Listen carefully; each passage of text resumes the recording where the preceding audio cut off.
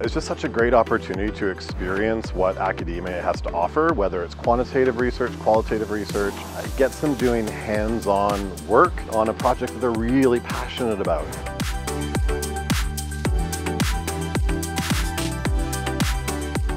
You are your own boss and what's interesting to you is what you're going to pursue. And you also get other students to give you their perspectives on your work and help you notice things that you never seen before.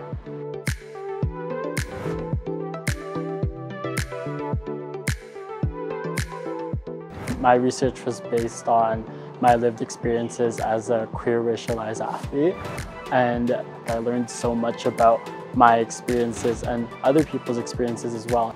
I think that's so impactful to me knowing that sharing my story might help somebody else's experience or might even stop those experiences from happening in the first place.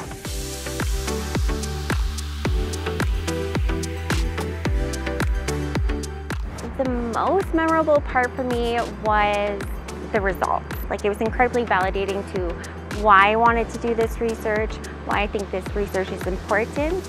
And I really think it was like validating for the community that I've been working with as well.